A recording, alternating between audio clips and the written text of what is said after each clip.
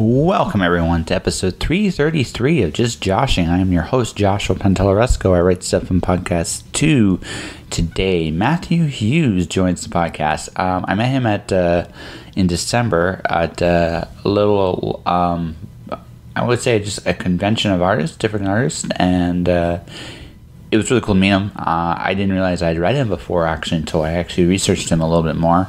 Um, the Damned Busters is the is one of the quirkiest superhero books I've ever read. Anyway, Matthews just released an amazing book, courtesy of Pulp Literature Press, and we talk about that and much, much more. Um, yeah, so I have to be good for one more month. This is going to be hard. Um, also, I got done probably the second nicest job interview rejection I've ever had.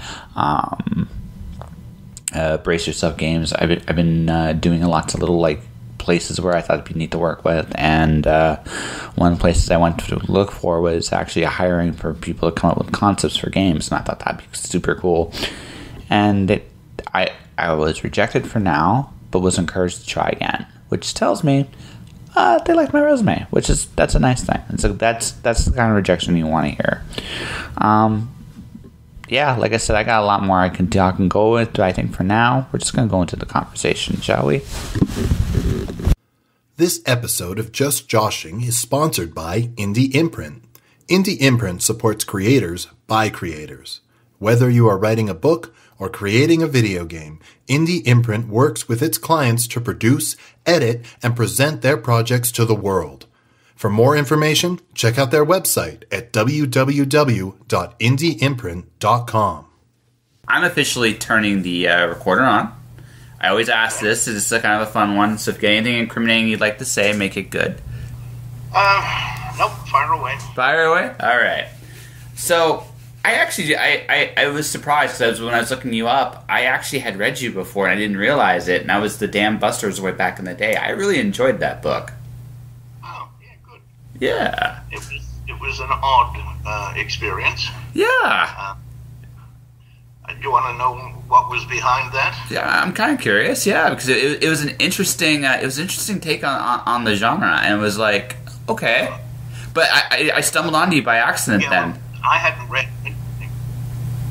I hadn't read anything in the genre. I had no idea really what urban fantasy was, except there was something about tunnels underneath London. I'd heard about. Um, what it was, I ah, I had pitched a book to Lou Anders at Pyr Books. He was editing it then. Um, had his own imprint, and he wanted to uh, to have me write something, write a book for him. Um, but uh, his overlord said no, his numbers aren't good enough, and that made Lou feel kind of bad. Um, so when I ran into him at World Fantasy in Saratoga, he said, "Let me introduce you to Mark Gascoigne, who might want to buy something off you." And so he introduced me to Mark Gascoigne, who was then uh, with an offshoot, I think, of uh, uh, that English British publisher, um, the big one, Gollancz. Anyway, nothing came of that except that uh, in not too long after, a few months after, Mark went to uh, Angry Robot, and I pitched him on a book again, a kind of epic fantasy, some of which takes place in heaven. And he decided he didn't like that. It wasn't what they were looking for, which indeed was urban fantasy. It was what they were looking for. So at that time, I was in the middle of writing a novelette for fantasy and science fiction about a highly functioning autistic actuary who causes hell to go on strike and comes out of it as a costumed crime fighter, which is what he'd always wanted to be. So I had about 16,000 words of that written, and I sent it to Mark and said, okay, well, you know, you fall off the horse, you get right back on. So how about this? And he said, no, that's interesting. And when I finished the piece, about 20,000 words, I sent it to him. And we had a discussion about what might happen afterwards once the guy was a, uh, a costume crime fighter with a weasel headed demon to help him. Um, and, you know, we, we back and forth with email a couple of times. And then he said, fine, we'll take three. At which point I had to come up with three novels based upon this 20,000 word concept, which eventually I did, but at the time, I, see, I'm not an outliner. I don't plan my books, I just write them. And I had no idea what I was going to do with this afterwards. Um, I think I was midway through the second book, costume not included, before I actually figured out what I was doing with the story. um, and of course, the titles were chosen by Angry Robot, and the I was maybe halfway through the first book, uh, The Damned Busters, when they contacted me and said, We're putting together the catalog now, and we need to know the, the plots of the next two books. And I had no idea what the plots of the next two books were because I hadn't written them yet. Uh, I discover my plots as I'm writing.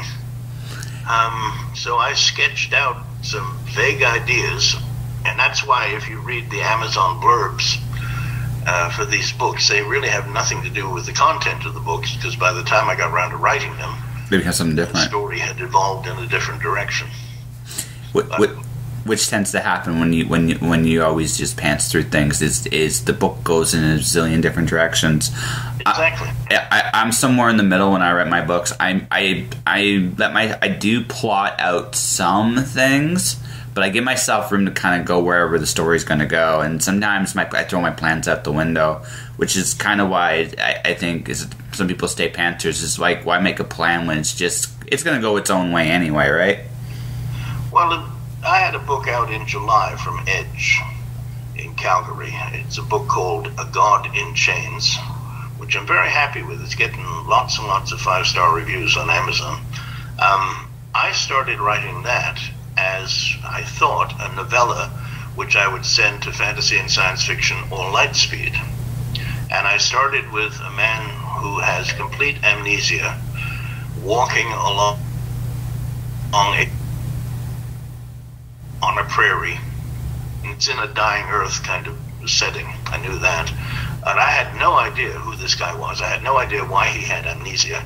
And I had no idea what was going to happen when he uh, met up with the caravan that he figured out he was trailing along because he could see animal dung and hoof prints and wagon wheels and so on.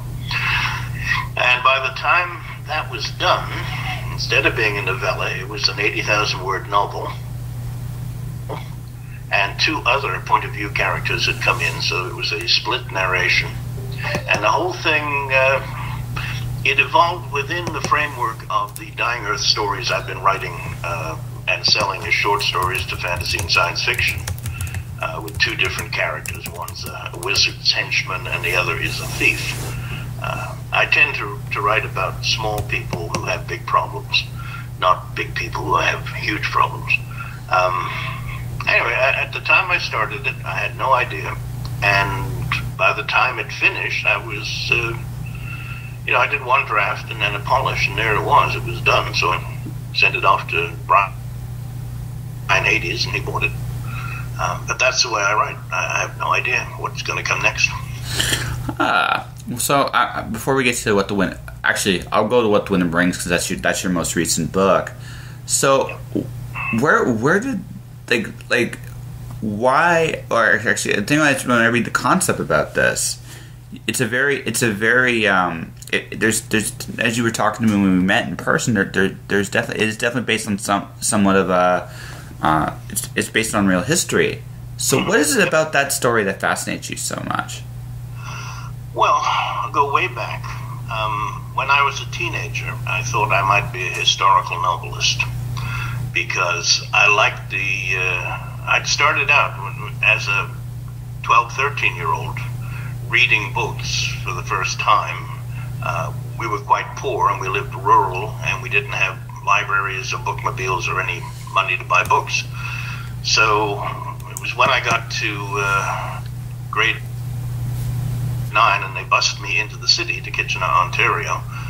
And the school had a school library that I started to read. And one of the first books I'd ever read was a juvenile historical novel, which was part of the grade nine curriculum in English in Ontario in those days. It was a book called Cue for Treason. And anybody my age who went to school in Ontario knows it because they were all made to read it in grade nine. my elder siblings had brought home copies, and I'd read it because I read anything I could get my hands on. When I got to the high school, I started reading historical novels. And I also read science fiction because my eldest brother had uh, been a science fiction reader and used to leave things around. Um, but I was really taken with uh, other times and places, and reading juvenile uh, historicals was, was uh, a mind opening experience for me. Got to see all parts of the world and, and eras that I knew nothing about. Um, so by the time I was 16, I figured I was going to be a historical novelist and even started to write one when I was in my summer vacation with a, a pencil and an exercise book, which I wrote a chapter and that was it. That's all right. but it was always sort of in the back of my mind, even though I was leaning more towards being a science fiction author by the time I got uh, into university. Um, that historical novel thing always drew me. And then one day I was reading a textbook, and it was uh, about cross cultural uh, encounters and influences. And the chapter I was reading was about how people who get washed up on foreign shores, like Japanese fishermen arriving in on Vancouver Island 500 years ago, uh, they generally don't do very well. Uh, they, they normally clash with the local culture and are killed, often or enslaved. But there was a footnote that said there's one exception to this, and that was a bunch of African slaves who were shipwrecked on the coast of Ecuador in the middle of the 1500s and survived and flourished along with the local indigenous people. And I thought to myself, and we're talking 1971 is when I'm reading this, I thought, ah, I'd make a great historical novel. And I made uh, fitful efforts through the university library to uh, find the background on it and get some more. I even wrote to the uh, professor somewhere in the States who had uh, been the subject of that footnote, whose research had been. Never got a reply. It turned out it was very difficult to research because the true incident was only. Hang on a second, I'm going to turn off my email here because it's flashing at me. There we go. Um, the only real research on this incident, on this, these events, was in Spanish language South American academic journals. And my Spanish, you know, even though I'd taken it in university and high school, it was still at the level of Donde está la pluma de mi tía? You know, where is the pen of my hand? Um, I couldn't really make head or tails out of academic journals in, in Spanish. So I didn't do anything except think about the idea from time to time and, and again take a look and see if I could develop any uh, real background on it. And that continued, we're talking decades, um, until the turn of the century when I looked again and found that academics in America had begun to write about this circumstance in uh, English, and then I started to be able to get uh, real background on what had happened and who'd been involved, and you know how it all worked out. So finally, uh, got up to about 2013. Um, I applied to the Canada Council for a grant to write it, and they gave me $25,000 for this, which was a, a vote of confidence. And I, uh, I sat down got the research going, got a professional to help me dig out stuff that I wouldn't be able to find in databases, and researched it as thoroughly as I could, and then wrote it. And unlike usually with me, um, I polished the hell out of this one. I wrote actually four drafts before it was finished. And then I worked on it with my editor at Pulp Literature Press as well. Yes. Well, I, I it's, it's so so what it's what it came down to. This is a story based on true events of 27 African slaves, men and women, mostly men, who were on a ship going down the coast from uh, Panama City to Lima in Peru. And this is maybe 40, 50 years after the uh, Pizarro brothers had come and conquered the Inca. And things were settling down, and they'd had a little civil war after that. But anyway, things were settling down in Quito, and these slaves were being brought to work in the mines around, uh, what was it? I can't remember the name, but something like Olispo. Anyway, they were, uh, Pelosi, that's, that's something like that. anyway, they, they were wrecked on the shore. The, the ship was thrown against a reef by a squall, and they came ashore, and I'm pretty sure they killed uh, the crew and passengers because they were the only survivors. Um, and they melded with the local indigenous people, the people called the Niguwa, who had been rather badly treated by the Spanish when they went through in order to uh, go up north, or go up the, the highlands rather, and conquer the the Inca. They were depressed and demoralized and scattered into small villages where they used to live in towns of five or six thousand on the coast and were a great trading people with balsa rafts going up and down. All of that had come to an end uh, because of the diseases, and some of them had been carried off by the Spanish to, uh, you know, carry burdens up into the highlands, where being lowland people, uh, they got sick and died. They, you know, they would die of altitude sickness. Um, anyway, together, the Niguwa and the Africans formed this composite culture uh, and got along with each other more or less. There were some incidents and there was some fighting, but by and large, they, they formed a mixed society.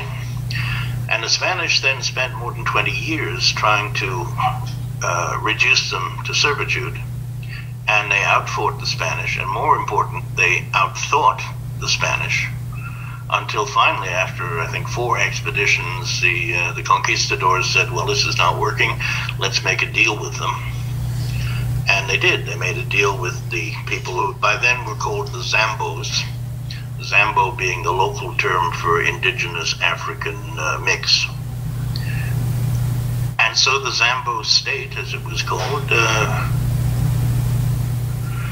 endured for generation after generation. And in fact, if you go to that part of Ecuador now, if you go up the little bayous and creeks and so on, as a friend of mine did back in the, the 70s, what you find is Africa. Hmm. Uh, in fact, he had the experience in 1970. He was doing a forest economy survey. He was a forest economist. I used to write speeches for him after he became rich and famous. Um, but he got to one little village way up some back creek in a dugout canoe paddling himself. Huh. And he came ashore and walked into the you know the central space of the village and everybody came up to have a look at him and one old woman came and ran her finger down his cheek and then looked to see if the white came off and, she had, and she had never seen a white man and she was an old woman that's uh, if the place was more remote in those days but uh, that she was a survivor a descendant of the zambos and proof of their success in uh, you know, keeping the, the conquistadors from reducing them back to slavery. Which anyway, I uh, I always thought this would be a wonderful novel, and by the time I got around to writing it with the research behind me, I'd figured out that it would be from different points of view. I would use real people uh, who were known to have existed and, been part of the, the scene in those days. Um, and I'd come to the conclusion that I wanted a shaman to be one of the central characters. And along the way, as I was evolving that character in the back of my head, I decided that it would be a hermaphroditic shaman, somebody way off on the edge of the bell curve, uh, because I wanted a completely different perspective hmm. on life and the universe and everything. Um, and that's what I did, and she turned out. I tend to refer to her as she because she kind of presents as female mostly. Um, she turned out to be the absolute linchpin of the story. She's a, uh, a genius, but of course uneducated and, and, and, you know living in a forest somewhere, but uh, extremely sharp. And she's the person who moves the plot. She's like a, a mini Machiavelli. But I, I was quite fascinated and pleased with her as a character as she came out of the back of my head and, and took shape. So uh, that book came out in December. It's called What the Wind Brings. Uh, the publisher is Pulp Literature Press from uh, the Lower Mainland, Vancouver, and it's doing fairly well. It's got uh, good numbers on Amazon and good five-star reviews, and people, knowledgeable people who've read it. Uh, Cecilia Holland, one of my uh, favorite historical novelists that I've been reading for 50 years, and everybody should read her.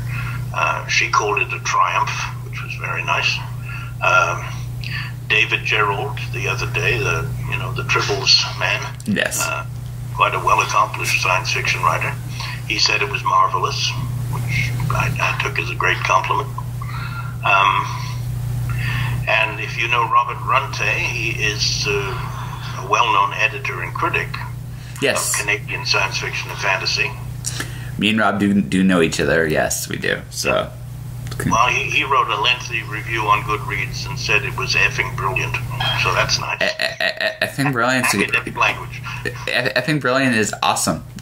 And don't worry about it. You can swear on my podcast. It's all good. So, but uh, it sounds to me like this was kind of like your magnum opus.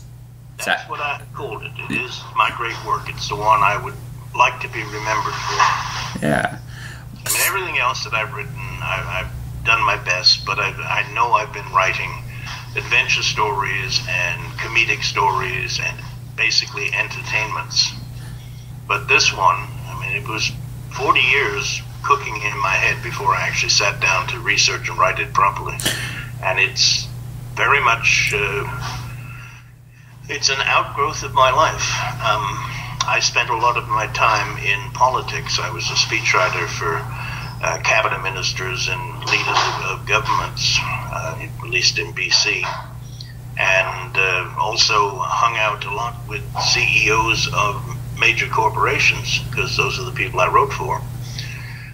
Which was peculiar because I actually come from the working poor. I, I am, you know, not quite trailer trash, but pretty close to it. Um, lived on as uh, you know a poor man's son growing up. I've been on welfare. I, have uh, worked at minimum wage jobs that most people wouldn't want to touch, but you know when you're like that, you take the job you can get and you do mm-hmm. enough to keep yourself alive. Um, but I found myself as an outsider in a much different uh, environment as an adult because I was hanging out with rich people and powerful people mm-hmm. and not just uh, you know working from the, the outer fringes. I was often a confidant uh, in the executive suite and in the uh, the smoke filled rooms where decisions are made and real power is used.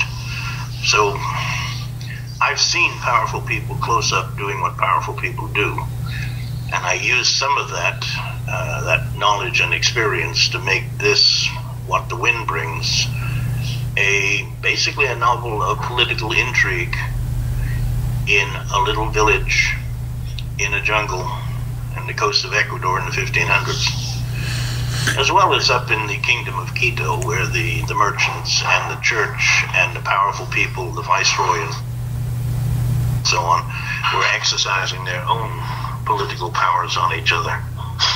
So, so I have to warn people if you think this is going to be a bodice ripper historical novel with lots of uh, swordplay and daring do, there's a certain amount of that in it because there is violence and it was a violent time. But basically, it's uh, a story about the powerful and the powerless, uh, intriguing and working with and against each other. So it's got a lot of real life to it. Hmm. Sounds to me like you finally did what you wanted to do in high school. You became a historical novelist. Yes, it did actually. Yeah. Yeah. Uh, I'm thinking this is since I've done this uh, book and it's come out and it's getting a good response. Um, I've gone back to that idea I had when I was 16, and I'm thinking I might actually revive that and write it one of these days if I live long enough. I can't wait another 40 years. Um, but it was uh, an interesting little tale about just yeah, the, the death of Alexander the Great when he came back from conquering the world and established his uh, his capital in Babylon. Um, he is said to have told uh, sent a crew of people on a ship to circumnavigate Africa because they wanted to know how far down Africa went. Uh, you know, down the Red Sea and so on. Um, and then he died. He died of malaria not long after that. Nobody knows whether the ship actually went, and they certainly don't know if it ever came back. And I thought, you know, put a group of uh, different people from, and in those days, Alexander, he'd conquered everything, so you would have everything from Greeks and Macedonians to Phoenicians to Egyptians, uh, Babylonians, Persians. They could all be mixed together in a crew and uh, go sailing off into who knows where. That's an interesting premise for a book. Several books, actually, if you Yeah. do that right. If you do that right. Um, and why not? I mean, heck, I mean, you, you proved to yourself, I think, that you can do a historical novel. Now, obviously, you don't have 40 years, but if you're like me or like any other author, you never forget your ideas, ever. They're always in the back of your mind. So you might be, you might have been cooking this up for a while anyway. I got to argue with you on that because it did actually happen to me. Back in the uh, the 80s, I had an agent in Vancouver, and I was writing screenplays and treatments, and she was trying to see if she could uh, sell them down in LA, which wasn't working. But I uh, I ran into her once at uh, one of those drinks things that people do in that business, you know, wine and cheese and cocktails and so on.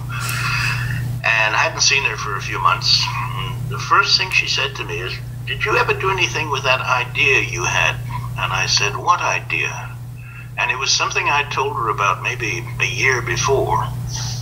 Um, a completely, uh, well, a reasonably well fleshed out idea for a uh, uh, an afterlife romantic comedy fantasy um, in which people, when they die, if they're good or if they're bad, they get assigned to be either devils or angels on people's shoulders, on living people's shoulders, just like in the cartoons.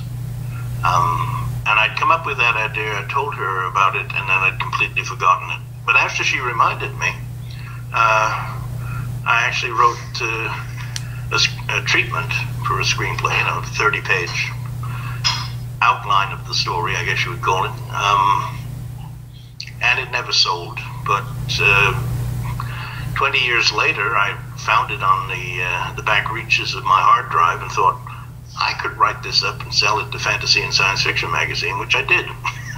Well, see that, but that's my point. Actually, I think you made my point. Oh, you kind of did forget the idea. It came back to you, and Yeah. it, and, and you used it, and you used it in some other way. Like I, I have ideas I still remember from high school, right when I was writing, and I found that for me, right, okay, they don't necessarily go the way you anticipate them going, right? Um, they, they like sometimes the idea you had in your head uh, doesn't work the way you had. Like one of my ideas when I was younger was a virus that made people live forever. Right? I thought that'd be an interesting idea. Right? It's it, and it is an interesting idea. But when I tried to write the novel, I, I it, this was this, this was my my first real serious novel. I broke it. Right? I, I, I, I made mistakes. I learned an awful lot doing it. But I can't write that story anymore the way I had originally intended simply because my voice has changed from when I started. But those ideas are still there, and I have used them here and there in other things I've done. I find those ideas never really fully, truly go away. Just come back in unexpected ways. Yeah, uh, well, yeah, it's true, and it's especially useful if you write them down and put them on a hard drive somewhere, Yes. so you can rediscover them. Because once, yeah, I- once I rediscovered that idea, it, it went, you know, flash into my brain. Here's the story, and away I went, and I Yeah. wrote it up at about fifteen thousand words, and only took a couple of weeks because there it was. I mean, it was, it was all worked out in the back of my head. I'd just forgotten that it was there. Yeah. I mean, I, I think we, I think we all, all of us have those ideas from time to time in, in there. So I mean, in one sense, I mean that sixteen year old idea, it's probably been percolating for a long time, and I'm very curious to see what you come up with when you do it. Well, yeah, because I have come to understand, well, many years ago now, um, there's a guy in the back of my head who seems to put these things together and then feeds them to me at a thousand, two thousand words a day. And I write them up and then polish them a bit, but he seems to know the story completely and feeds it to me a bit at a time because it, it, it's like that, you know, the, the Michelangelo thing. I don't think he ever really said it. You know, you start with a block of marble and you want to create a statue of David, so you just chip away everything that isn't David, and there it is. You know, yeah. like it's already there in your head. Yeah, exactly. And you know, it's one of those situations where I think actually all writers can keep in mind. Sometimes, sometimes these ideas are part of bigger ideas, and sometimes, sometimes. But I will say this: a credit to you. It's really hard to keep an idea. I, uh, am sure it's evolved quite a bit since when it started but you told a story from when you from from your younger days. You were able to keep it up. I mean, took forty years, but you did it, and that's a huge accomplishment, man. Congrats. Yeah, well, yeah. Um, it's. I'm glad that it worked out that way. I, I'm very, very glad that the Canada Council gave me the money. Otherwise, it would probably just have remained something stuck in the back of my head. Because finding a publisher for a 150,000 word historical novel, even with some slipstream magical realism thrown in, even if you publish 20 odd novels already, it's not easy. That's not, these days, that's not an easy sell. No. And I was very uh, glad that I'd established a relationship with the women who run uh, Pulp Literature Press by selling stories to them for their quarterly magazine which is what they did for five or six years before they got into book publishing. Um, I trusted them and they trusted me, and when I showed them this book, uh, it didn't scare them. No. Say, oh God, it's 150,000 words. How are we going to do that? Um, they said, we love this book, and I'll figure it out. Yeah, I know. I know Jen. Jen. Jen. Um, it, it, it's if it, they like something, they go for it. It's what I really respect about Pulp, and they're not afraid to try different things out. So I think he found a really good home with the right people. Well, I'm hoping this book is going to lift them because um, I'm not really assuming it's going to be a bestseller, but I think it is. And this sounds slightly egotistical, but I think it is award worthy. It's that kind of book that. Uh, juries might take a look at and say, "Hey, that's not bad." Well, um, I hope you have a little ego about it because I mean, you worked your ass off on it. I mean, in not like honestly, it sounds to me like this again. This is your magnum opus. You should have an ego about it a little bit. You, I mean, no matter what happens with it, I mean, this is the one you want to hang your hat on. I feel pretty good. I would think it'd be if I wrote something like that. I'd want to be. I would think probably the same way. I think yeah. that's a, I think that's a good thing. Yeah, yeah, yeah. Well, I don't think you can be uh, a fictioneer um, unless you've got a certain amount of ego.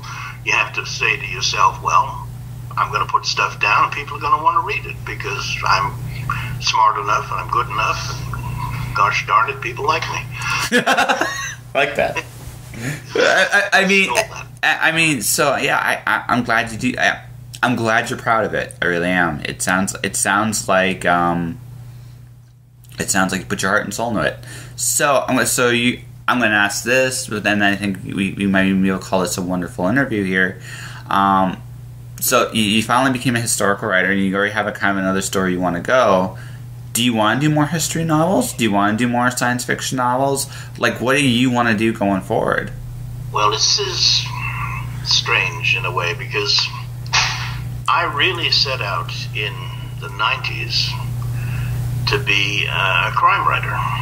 Uh, I had a novel from Doubleday Canada. I was selling stories to Alfred Hitchcock magazine and other venues, and a, a much lamented lost online magazine called Blue Murder, which was wonderful, and tried to grow too fast into a, a book publisher and crashed and died because of the, the dot com bubble. The, the guy who was backing Blue Murder lost all his money and it, the whole thing died. Um, but I was on my way to being a crime writer. I had uh, publication credits. I'd won the uh, Arthur Ellis Award from the Crime Writers of Canada. And then, because of it, well, flukes that I can't be bothered to tell the whole long story of, um, a fantasy novel I'd written and got published briefly in 1994. I resold to uh, Time Warner Books, Warner Aspect, and they asked for a sequel, and I wrote the sequel. And suddenly I was a fantasy author, uh, and with a, a, peculiar slant of being obviously highly influenced by Jack Vance. And that led to other uh, editors and publishers saying to me, like Nightshade Books and David Hartwell at Tor, if, you write, we'll publish it. Um, and they were offering me contracts and checks, and suddenly I was a fantasy and science fiction author, even though I'd meant to be a crime writer. Um, I'm a natural crime writer because I come from a, a family which is well larded with uh, minor criminals. But anyway, um, I find myself writing science fiction and fantasy because people will publish it, and I'm now at the point where I've written more than a dozen novels and sold them, and some, I guess, maybe 80 stories for uh, fantasy and science fiction magazines, and shortlisted for the Nebula and the Aurora and the Philip K. Dick and all that kind of stuff. Um, I'd really like to just be a, a crime writer, though, but uh, I have to make this compromise that I write about criminals and ne'er do wells in science fiction and fantasy settings, and that seems to satisfy everybody. I do want to plug one thing, though. Um, Go ahead. Now that I remembered it again, um, I announced this uh, a week or so ago. Uh, I've made a deal with the son of Jack Vance, John Vance, uh, to write a sequel to one of Jack Vance's most famous works, which, which is the five novel Demon Princes series. Ooh. And I've uh, I've signed a contract on that, and I've got the first couple of thousand words written, and that's what I'm going to be doing through this spring. Uh, that almost feels like another childhood dream come true. Am I right on that? Yeah. I uh, Jack Vance is one of the first uh, science fiction authors I ever read, and I'm going back to, I guess, 1962 or three. My, uh, eldest brother had a, uh, subscription to Galaxy magazine, which was a big magazine in those days and he left it lying around, and I picked it up and read it. And I read The Dragon Masters, which was an award-winning uh, novella by Jack Vance, and that was just that blew me away. That was just it. And after that, anytime I came across a Jack Vance story, a novel, I read it, and that went all the way through uh, my life. I, anytime I came across Jack Vance, I read Jack Vance. And, and I looked for Jack Vance and I sought out old stuff and, and you know and he uh, he sank into my mind um, absolutely uh, pervasively and, and, when I came to write my own stuff I was definitely writing in a, a Jack Vance mode not trying to copy but no being, being influenced strongly influenced we all have our influences, man. We all we all have people that we really, really, really like. We go. I'm not saying I want to write exactly like, but that tone and that experience we felt reading, we kind of want to convey that in our writing. And for you, that's Jack Vance. For me, that's that's Asimov, Edgar Rice Burroughs, Ray Bradbury. But I mean, we all have those. Um, we all have those people like that we admire.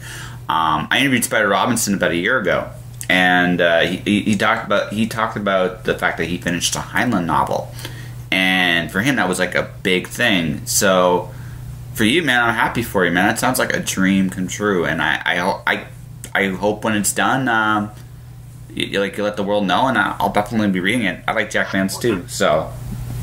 Well, it's a, a mix of intimidating and joy making at Yeah. the same time. It's, it's a peculiar experience. Flattering?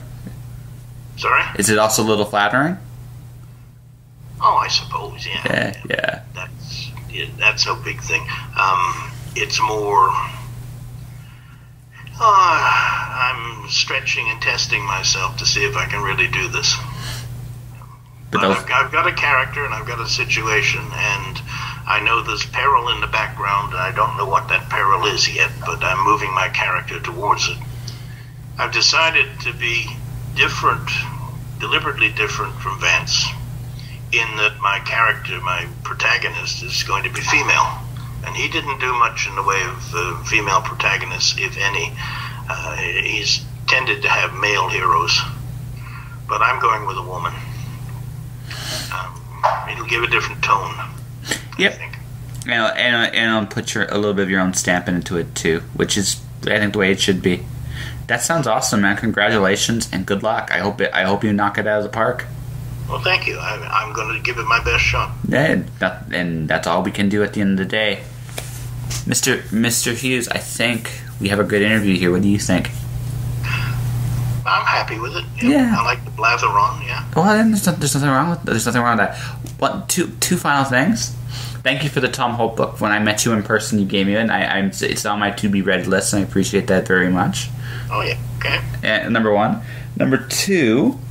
All right, since we're at the end of the interview, I tend we- we're talking about what the wind brings. We, we've talked about that a little bit again, like that. So you want to talk about that again in, in detail for us to close things off. But also, where can people find you? Oh, okay. Well, um, I have a web page. It's Matthew Hughes, two T's in Matthew, matthewhughes.org. You can find me. You can find me on Wikipedia, too. Um, I'm on Facebook. I have a, a Matthew Hughes author page and also my own personal page, and the contents of each are identical to the other. I, I only use Facebook pretty much for uh, making announcements of things I'm doing or have done. And I have a Twitter account. The, uh, the Twitter handle is Hapthorn, H A P T H O R N. Um, what I would like people to uh, to do is, if they go by my webpage, matthewhughes.org, there's a little thing in the corner you can fill in your name and email and get onto the mailing list for my monthly uh, monthly newsletter uh, that I've been sending out now for three years, which is all about what I'm writing and selling and reviews. And I give a free read every month of something from my backlist. And I also am writing a kind of autobiography in progress and about my strange and peculiar life. Um, so usually an episode of that appears every month as well. Very cool. And when miss anything? Oh yeah, I have a I have a Patreon account if anybody wants to give me three bucks a month to keep me writing, which I greatly appreciate. sure, what's your Patreon? Uh, it, it's just Is it, is it um, if you go to Patreon and put my name in Matthew Hughes, it sends me to the it sends you to the uh, the account. Fair enough. All right. And that was my conversation with Matt Hughes. What the Wind Brings, courtesy of Pulp Literature Press, is available now. It's a good book. Matt's a great writer. And it was cool. It's cool to let him talk on podcast. So, Matt, thanks for coming on my show. You are welcome back anytime you'd like. Um, let's see here. So I'm not going to be talking about me too much. I feel good. Uh, I, I got to Go Sparkled Muffin here very shortly. So before I do that, um, I thought I'd uh, talk about some of my friends. Ed Willett, Ed Willett is doing a really cool uh, anthology uh, called Shapers of Worlds. It's based on the uh, his podcast, which is World Shapers, which is a great podcast for science fiction and fantasy fans. It talks about world building. It talks about the authors and their works. Ed's a great pod, does a great podcast, um, and he deserves his award award for what he's done with it. It's awesome, awesome show. Um, some of the people in it: uh, Dave Weber, Ellie Moss Jr., Ed himself. Um, there's a it's it's a who's who of science fiction and fantasy. He's about to do a Kickstarter for it starting February 28th. So go to Kickstarter.com slash products at Edward Willett slash Shapers of Worlds it's an awesome thing. I'm going to talk about another buddy of mine too. Um, he's a colorist in the comic book industry, Anthony D. Lee. Um, Anthony, uh, unfortunately, um, a comic book creator I admire has been out here doing some very, very, very uh, questionable things with quite a few women, and not necessarily in the industry but around it, and and just using his fame to, to just do some things that isn't uh, cool. And uh, Anthony in protest, and to his credit, actually walked away from working for this individual. Um, he's an amazing colorist. He does some great, great work. He's a cool dude. Anthony is, a, is an amazing guy. Um, I hope to get him on the podcast at some point. Um, my nickname for him is Good Sir because he really is a good sir. He's really he's one of the better dudes out there. So if you need someone to care for coloring, if you're a comic book creator, definitely look him up. Anthony D. Lee is on Facebook. Just look him up like that. That'd be a good way to contact him for work. All right, that'll do for this episode of Just Joshing. If you want to support the podcast, you can do so a bunch of different ways. You can subscribe to the podcast. I'm on iTunes, Google Play, Spotify, most other players as well, uh, Podomatic as well. So it says click the subscribe button. Let people know this podcast exists. I appreciate that very much. Um, my books, The Watcher, Storm Dancer, Wandering God, are available through Mirror Publishing. I have merchandise, jpantalleresco.redbubble.com. You want to buy a unicorn t shirt, you want to support the podcast by buying some merchandise, you can do that. So, there. Support my sponsor, Indie Imprint. Indie Imprint's your one stop shop where you can get you, if you are a writer, gamer, uh, they will help you get your work out there. They are amazing people. So, definitely check them out. My Twitter and Instagram is at jpantalleresco. Uh, my Facebook page is Joshua Pantalleresco, author podcaster. Stay inspired, everybody, and thanks for listening. Josh. Josh.